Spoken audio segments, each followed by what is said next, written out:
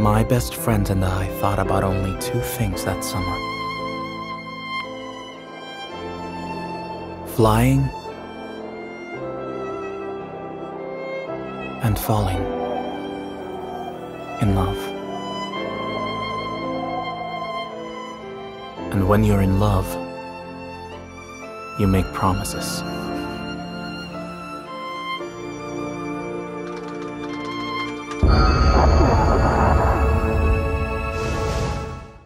Welcome everyone to the 18th episode of Talkisoba with our special Valentine's Day review of the romance film The Place Promised in Our Early Days. I'm the casual anime watcher Nate, as always here with the anime enthusiast Malesh. The Place Promised in Our Early Days is the very first feature film made by Makoto Shinkai, who has recently become a lot more well known due to his recent film from 2016 being the highest grossing anime film of all time. I liked this first feature film of his, but I felt it was pretty weak and disjointed. I agree with Nate with how weak The Place Promised in Our Early Days was.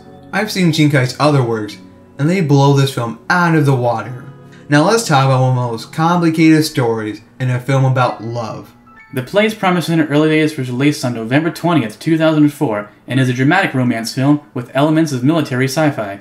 I found the primary plot a little hard to follow and was confused at points. In an alternate reality, Japan is split into North and South, with each half being occupied by either the Soviet Union or the USA. Two young men and their mutual female love interest live in northern Japan and are fascinated by a tower that was constructed by the Soviets, which is later found to be replacing nearby parts of the Earth with parts from parallel worlds. I love this sort of sci fi, but this particular plot wasn't delivered with the best pacing or very well explained all the way through. All Makoto Shinkai films share the importance of romance as a theme. You see this with A Place Promised in Our Early Days, and beyond all the zany sci-fi stuff, there is a romance plot revolving our main character Hiroki and his lover Sayuri. My problem with this film is that it does a really bad job of blending sci-fi with romance. The romance was a more important aspect, but for some reason it has this complicated plot that doesn't add much value. It almost feels like Shinkai combined two anime into one film. Overall, there was some stuff I liked about the story, but it quickly falls apart with how odd it gets later on in the film. The main trio of characters in this film are Hiroki, a shy student, Takuya, a smart guy and Hiroki's best friend, and Sayuri, a mysterious girl that both guys end up falling in love with in middle school.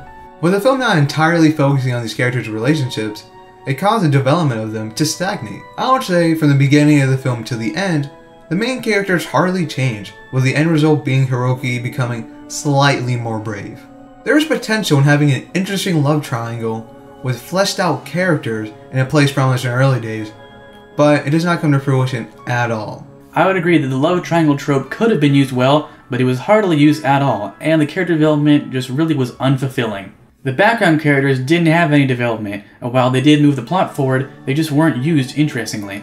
I also felt that despite the main characters growing up early in the film, there's little meaningful moments when the two young men Hiroki and Takuya come together after years apart. Sayuri had some very minor backstory, but her contribution to the plot was too utilitarian, and she got a lackluster conclusion in my opinion. Makoto Shinkai's personal studio, CoMix Wave Films, animated A Place Promised in early days, and they did a dynamite job on it. In general, CoMix Wave is filled with amazing animators that make every film look stunning, like Garden of Words. The art style is from a signature Shinkai, with unique art designs that made me think of a more mature Ghibli art style.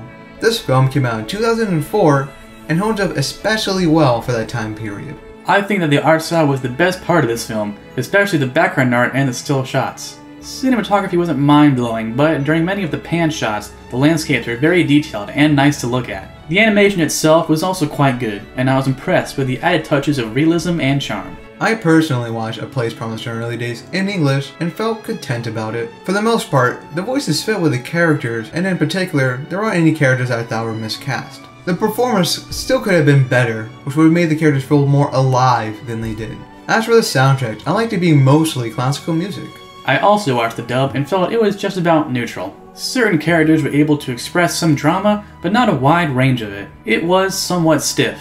I agree that the actors needed more liveliness, but the script was still decent at least. As for the soundtrack, it didn't stand out much to me, but it was still pleasant, and I'd call it a safe choice. To wrap things up, I have to say I still like this film a little, but I have to admit it was pretty weak.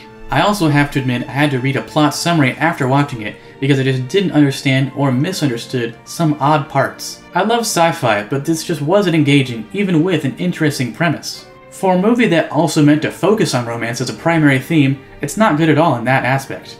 Since Makoto Shinkai is much more highly regarded after his most recent film, I think that if you love that and or all of his other works, this is worth watching just to see how his first film came out. If you don't have that specific desire to watch this film, then I don't recommend it. The Place Promised in Our Early Days is an okay film that I would only say to watch if you want to watch all of Shinkai's films. Otherwise, just watch 5 centimeters per second or Garden of Words, as they're way better films in every aspect. Shinkai learned a lot about what worked and didn't after A Place Promised in Our Early Days. It wasn't a total waste of time for me, but still my least favorite thing I've watched for Talkisoba, period. You can only stream the subtitle version of this film. It's on Crunchyroll, but only in standard definition 480p. The Blu-ray and DVD are available on Amazon, but expensive. If you want to use illicit free streaming sites, you can still find the dub or sub very easily in high quality. As always, if you've already watched The Place Promised in the Early Days, click the first link in the description for our post-review discussion, which includes some light spoilers. Thanks for watching our review of The Place Promised in the Early Days please give it a like or comment for feedback. We'll see you guys next time with our review of Ouran High School Host Club. Ciao.